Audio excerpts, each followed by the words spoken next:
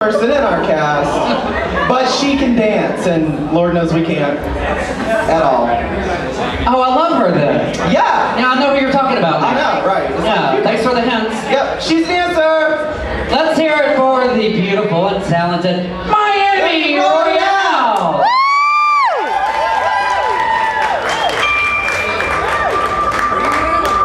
The year is 1940. And something Business. Arrived.